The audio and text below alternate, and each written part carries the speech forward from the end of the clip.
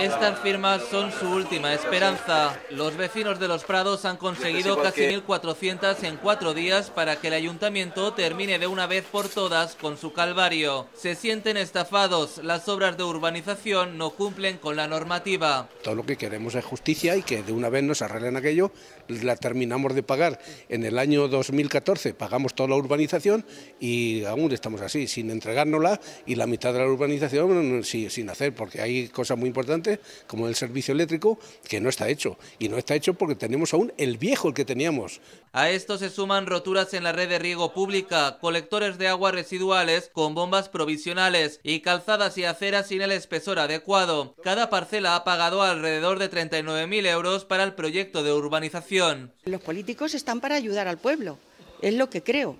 Y entonces lo que tienen que hacer es intentar solucionarnos los problemas. Y nosotros tenemos un problema muy gordo y queremos que nos lo solucionen.